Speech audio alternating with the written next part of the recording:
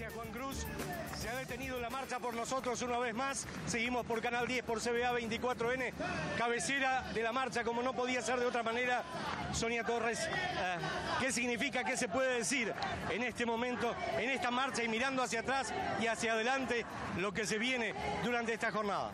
Nosotros las abuelas caminando, buscando, brindando por la vida cuando encontramos un nieto, pero siempre con las banderas que iniciamos, memoria, verdad y justicia, para que nunca más se repita este horrible terrorismo de Estado que, se, eh, que asoló a la Argentina a partir del 76. Eh, eso le quería... miles de personas, miles de personas, no se puede justipreciar todavía.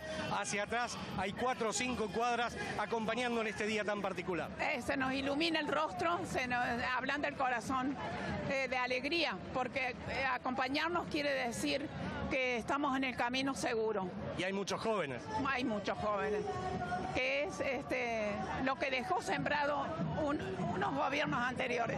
que le dice a su corazón que haya estado Obama hoy haciendo todo lo que hizo en el Parque de la Memoria en Buenos Aires.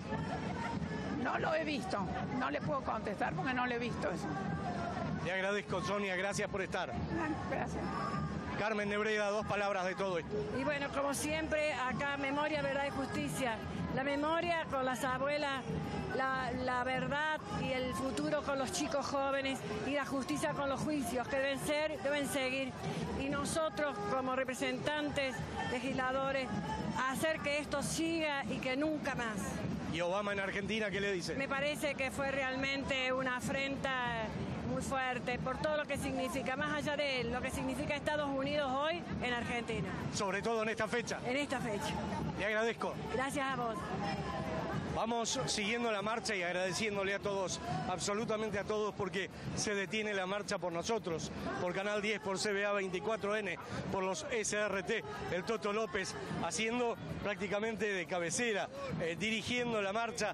eh, de verdad, eh, llega a conmoverse, se siguen viendo lágrimas en muchas de las personas que marchan hoy aquí. Es de verdad conmovedora, insisto en estos términos. Hay momentos de sonrisas, de ganas, como dijo recién Sonia, y hay momentos de mucho dolor que no se termina.